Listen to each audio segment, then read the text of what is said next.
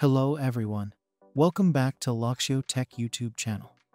In this video, we will teach you how to upgrade the Windows 11 Home version to Windows 11 Pro without data loss. By using this method, we can upgrade to the Pro version without formatting your existing Windows OS. Before proceeding with this method, make sure you have a genuine Windows Pro key.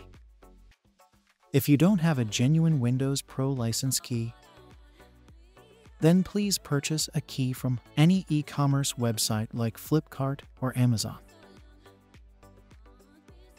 Or you can purchase the license key directly from the Microsoft website.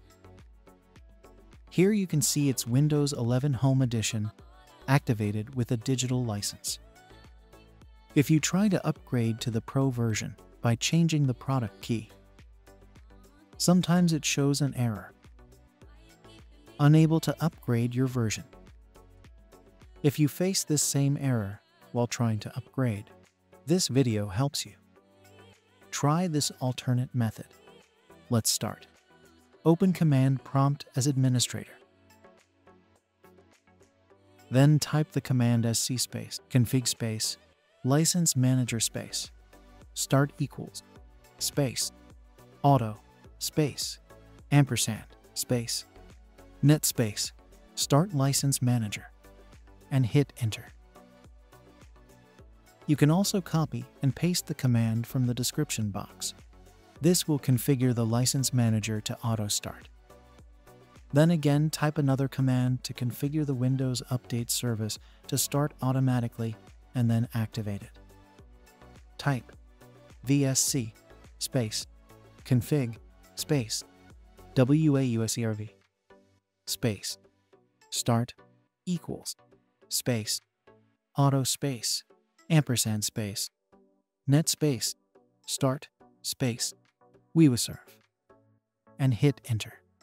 You can also copy and paste the command from the description box.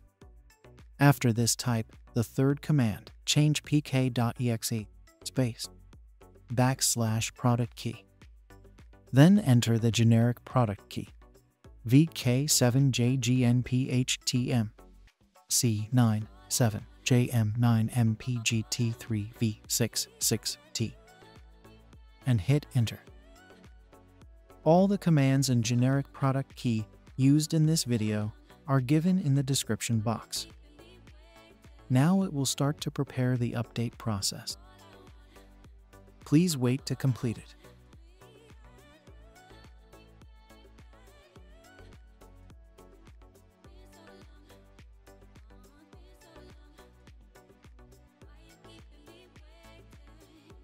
Once it's completed, close the command prompt and restart the system.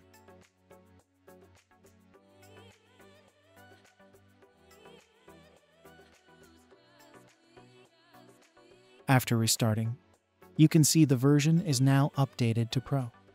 But still, the activation status is not active. Click the Change button, enter your newly purchased Windows Pro product key, and click the Next button. Then click the Active button to activate your Windows Pro Edition. Now it is activated, and all your data and files are kept safe in your system too. That's it.